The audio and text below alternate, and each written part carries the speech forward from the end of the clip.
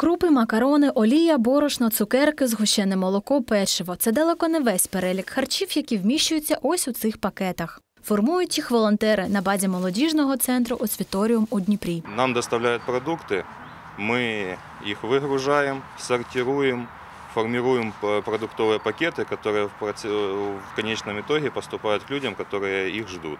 В пакеты входят э, овощи, буряк, морковка, капуста, лук э, и э, крупы.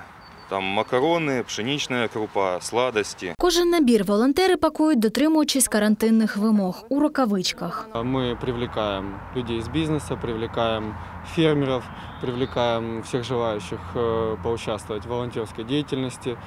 Пытаемся охватить как можно большое количество людей, помочь как можно большему количеству. Серед нужденних пенсіонери, малозабезпечені, багатодітні та люди з інвалідністю. Пакунки зібрані. Тепер можна вирушати за адресами. Перша зупинка квартира 82-річної пані Галини. Для неї така доставка харчів додому сюрприз. каже, про допомогу чула, однак і гадки не мала, що опиниться у списках. Дети, большое спасибо, труженики, а вы делаете хорошее дело. Коли побачила волонтерів, не стримала сліз. Дух жизни піднімаєте.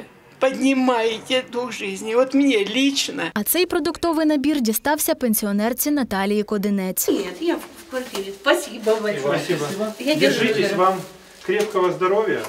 Спасибо. Я уверен, мы сильнее победим и не такую заразу. Безусловно. Жінка вдячна. Каже, коли літні люди через карантин змушені сидіти вдома, така адресна допомога неоціненна. Спасибо большое. Конечно, довольны. Ого, столько принесли. До волонтерського руху приєдналися громадські активісти, студенти, військові, спортсмени, представники Червоного Христа. Загалом понад півсотні людей. Координує їхню роботу Центр допомоги літнім людям при Дніпропетровській облраді. На сьогодні волонтери розвезли по регіону вже майже три тисячі наборів. На пакунки з обласного бюджету виділили понад 6 мільйонів гривень. До соціальної ініціативи можуть долучатися всі небайдужі. Вікторія Вахрушина, Марія Бондар, Андрій Лата, Ярослав Засоба, Open News, телеканал відкритий.